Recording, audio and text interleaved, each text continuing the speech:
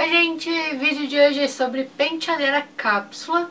Então eu vou contar pra vocês como é que foi o mês de outubro e mostrar os produtinhos escolhidos pro mês de novembro. Então pra saber mais, é só continuar assistindo o vídeo.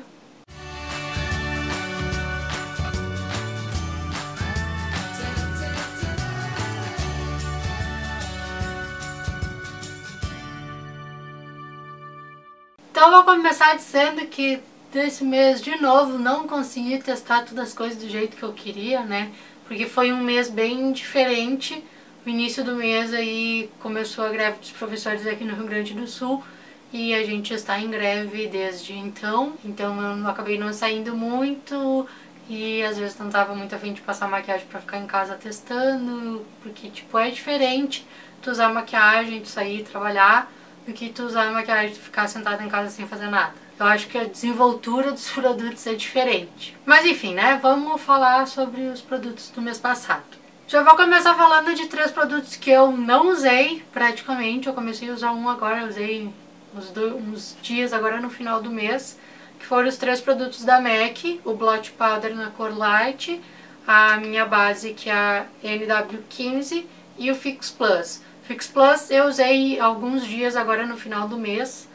E aí, mas né, nada assim que eu possa já fazer resenha dele, né? Apesar de ele já estar tá bem usado, né? A pessoa usa pra testar e aí não presta atenção no resultado. Bem, bem minha cara isso. Então agora os produtos que eu usei, né? Começando com a preparação de pele, primers. O da NYX eu finalizei, já tem resenha dele. O link vai estar no post desse vídeo no blog, que vai estar aqui embaixo no box de, de informações. O Pore Fashion da Benefit, daquele kitzinho de miniaturas, que faltava fazer alguns testes. E não terminei com ele, eu usei bem poucas vezes, né? Como eu já expliquei, o motivo da greve eu não usava muita maquiagem. E a da Mary Kay continua aqui firme e forte, ainda acho que vai mais um mês pra terminar com esse negócio aqui, né? De base tinha escolhido duas pra testar, basicamente usei só a da Bourjois, Tô finalizando aí os últimos testes. Usei algumas vezes a da pausa para feministas, mas não cheguei a fazer fotos dos testes e tal. Então essa aqui, agora eu vou deixar ela um pouquinho de lado e vou testar as outras aí que esse mês vai, o cronograma vai funcionar. E essa aqui logo logo sai aí a resenha dela. Corretivo da Fit Me ainda tem um pouquinho. Eu tentei não usar muito ele esse mês porque eu vou fazer a comparação dele com o corretivo da linha Fit Me que eu comprei em, em Londres. Então eu não podia gastar ele totalmente, né? Então dei uma popada. Usei ele algumas vezes quando eu usei a base da Bourjois, às vezes eu nem usava ele. Quando eu usava da pausa pra feminista, eu usava só ela mesmo pra contornar tudo, porque ela tem uma cobertura incrível, mas não tô gostando muito. Ela tem uma cobertura maravilhosa, mas tipo, o resto não tá me agradando muito. Mas enfim, vou testar ela, como eu falei pra vocês, mais adiante, com mais tempo, com mais paciência. Agora vamos deixar a gente usar umas outras bases, né, porque eu já tô enjoada dessas duas aqui. De pó, usei basicamente só esse, como eu falei pra vocês, eu não usei o da, o da MAC, usei só esse aqui da Colors, que é o translúcido. Os iluminadores da Candice Berenice continuam aqui agora eu descobri o porquê que eu não tava terminando. Porque eles têm um dosador, né? Pra não sair muito produto. Aí, no, na metade do mês, quase pro final, eu pensei, por que, que eu não tiro aquele negócio, não é mesmo? Aí eu tirei, daí agora eu tô conseguindo raspar melhor aqui nos cantinhos onde tinha produto acumulado. Mas eu acho que agora sim, agora em novembro eu termino com eles. Tenho fé que dessa vez vai. E a paletinha que eu usei foi essa aqui da Makeup Revolution para contorno e iluminação também, blush também. Saiu resenha dela no blog também, então eu vou deixar aí linkado no post desse vídeo, como eu já falei antes. E é uma paletinha que eu gosto muito, sério, por que, que a Makeup Revolution não vem pro Brasil vender os produtos deles, cara? Porque eles têm uns produtos tão legal e é tão ruim de comprar, porque daí tu paga, tipo, muito mais caros do que eles são, na verdade. Primer de olhos da Mary Kay, usei todas as vezes que eu usei sombra. E a paletinha de sombras que eu usei durante esse mês inteiro, já testando mesmo, foi a Modern Renaissance, Renaissance, enfim. E, ah, gente, é muito amor por essa paleta. É muito amor por essa paleta. É tanto amor que chega a cair as coisas. Mas enfim, agora acho que no mês de novembro eu vou deixar ela um pouquinho de lado. E vou usar algumas sombras que estão paradas aí, mas logo logo sai resenha dela.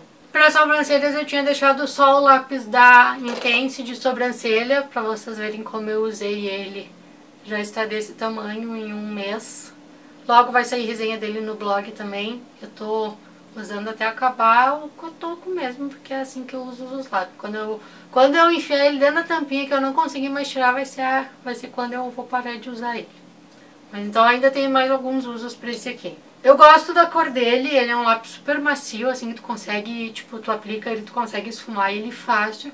O problema é que eu acho ele tão macio que isso dificulta aplicar, porque tipo, ele gruda os pelos e até arranca pelos, coisa que nunca tinha acontecido com outro lápis que eu usei, que era o da Mary Kay, que foi o único lápis de sobrancelha que eu usei, depois eu só usei sombra. E aí eu não sei, se, né, tipo, tá uma, uma coisa de amor e ódio, porque a cor dele é boa, ele tem uma pigmentação ótima, dura o dia inteiro, esfuma fácil, mas ele é tão macio que é, é difícil aplicar ele. Não sei se vocês conseguem entender, mas é um pouco difícil de aplicar porque ele é tão macio que atrapalha.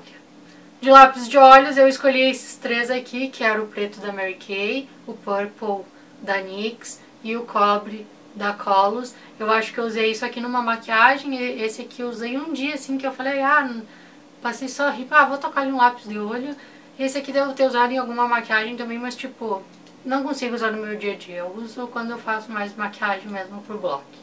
Delineador só tinha esse aqui da Inglet, que eu usei em todas as vezes que eu resolvi fazer delineado. Logo também já vai sair review dele no blog. Eu testei ele usando Duraline e ó, troço não sai por nada usando Duraline. Então logo eu conto mais sobre ele no blog. E a última coisa de olhos foi a máscara da Maybelline, que é a Push Up Angel. Essa máscara é muito maravilhosa, sério, gente. Eu, eu, eu me apaixonei por esse pincel aqui. Ele é super diferente, eu acho que ele alonga muito os cílios. E aí se tu conseguir uh, usar ele tipo em zigue-zague assim, tu consegue dar bastante volume nos cílios. Logo também já vai ser review dele com fotos para vocês verem a diferença. Com uma camada só isso aqui faz milagre. Por favor, Maybelline, traga pro Brasil, porque eu não sei se já tem isso aqui aqui, mas tem que vir, porque é muito bom. E no geral foi praticamente isso. Agora vamos falar dos batons, né, que mudava toda semana, como era pra mudar a paleta de sombras também, mas no caso, né, tava precisando testar aquela ali, ficou o mês inteiro a mesma paleta. Então, para a primeira semana de outubro, eu tinha escolhido três batons da Mary Kay, três soft mattes, né, semi matte. Os três são de edição limitada, e que fazia bastante tempo que eu não usava eles. Que são essas cores aqui. Então essas foram as três cores que eu usei na primeira semana. São basicamente nudes com tons diferentes. O primeiro é o Retro Rose, que é um tom de nude meio caramelo, meio marronzado. O segundo é o Ruby Night, que seria um bordô, mas ele também puxa para um nude bem bonito mais escuro assim. E o terceiro é o Pink Moonstone, que é um nude rosado. E eu usei os três e eu amo esses batons. Sério mesmo, eles são muito bons e eu acho as cores deles muito bonitas. Pra segunda semana, como teve feriado, enfim, eu não ia sair nem nada, aí eu acabei escolhendo só uma cor que foi esse novo aqui da Boticário, que é o Taupe Chic, que tá bem nessa vibe que eu tô aí de nude amarronzado, acinzentado, arroxeado, enfim com fundos diversos, mas a cor é bem bonita. E ele é bem naquele tom que eu tô gostando, né, de nude acinzentado, arroxeado, mudando o tom de fundo, mas enfim, é o tom que eu tô gostando. E ele é líquido mate, ele não tá seco aqui ainda, mas enfim. É uma cor muito linda.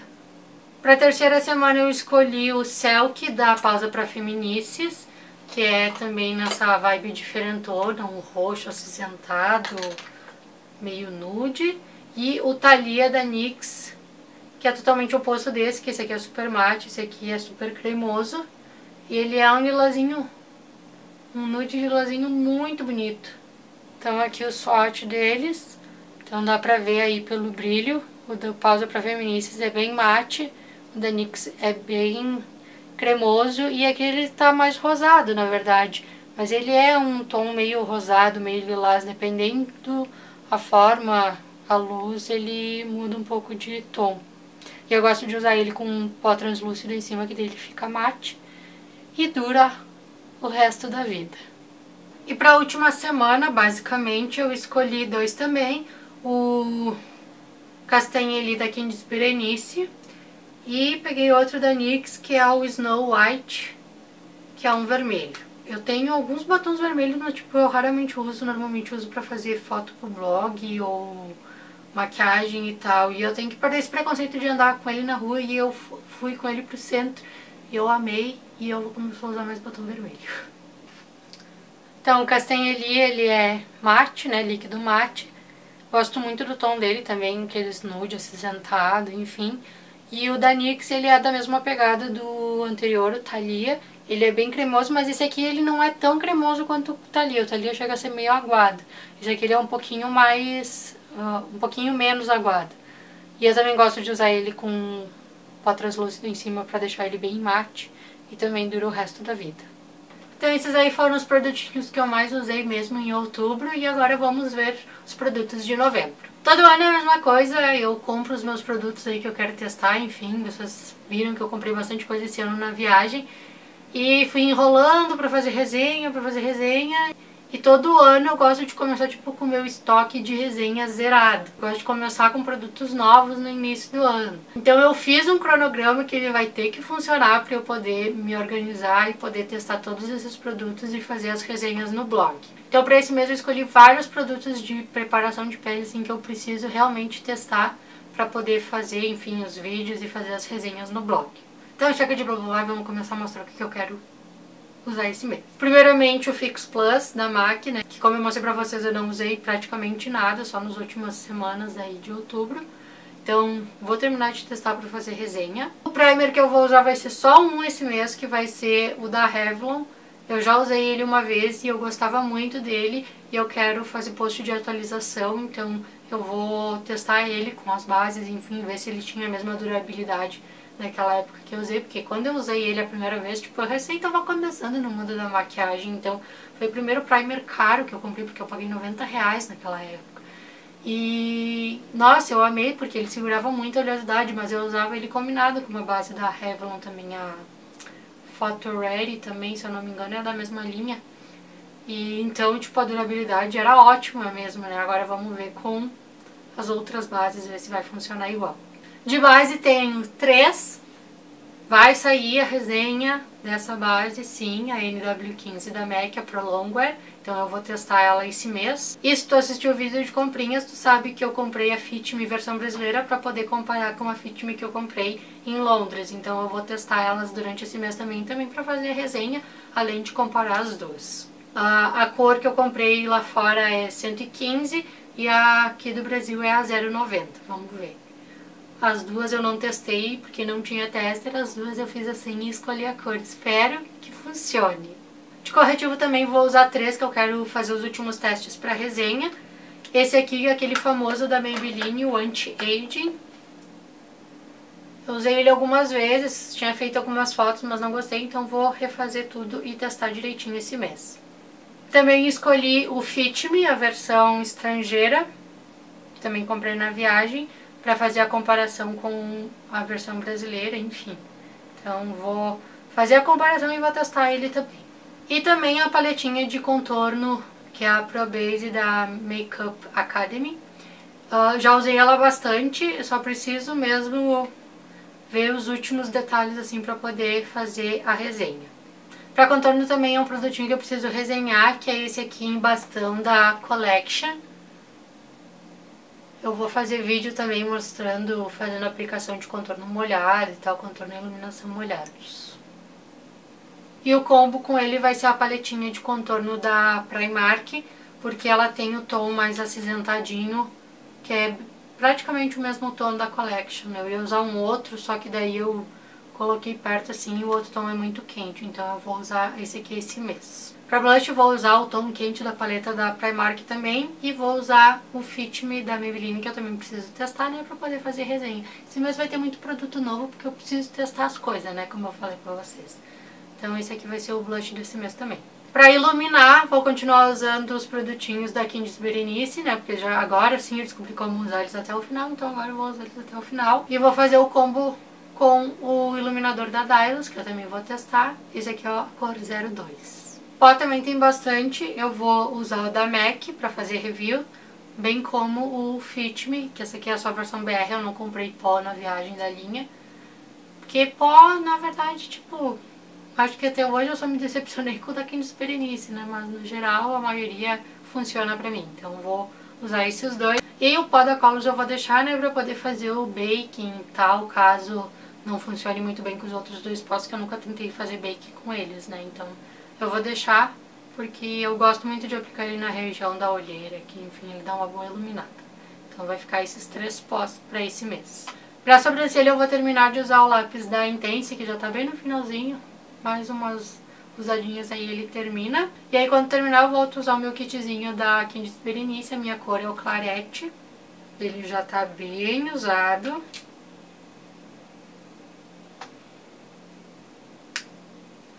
É uma paletinha que eu gosto muito. Todos os meses eu usava, mas eu acabava esquecendo de mostrar que é o gel de sobrancelha eu só tenho esse, então eu sempre uso, eu só esqueci de mostrar nos vídeos, mas também é da Candice Berenice. E pra finalizar os olhos, escolhi só um lápis dessa vez, que vai ser o do Boticário, o Make Be, aquele da promoção que eles fizeram lá de ganhar o lápis gratuito de brinde. A gente gosta de ganhar coisa, né? Então Vou testar ele para poder resenhar também. Delineador escolhido também é do Make Be. Já faz um tempinho aí que eu comprei, mas ainda não tinha usado. Que é aquele super famoso, que era edição limitada e todo mundo encheu o saco. O Boticário trouxe de volta. Que ele fica meio laqueado, assim, meio invernizado. Fica bem bonito. Eu usei ele uma vez quando eu comprei, só pra ver como é que ficava.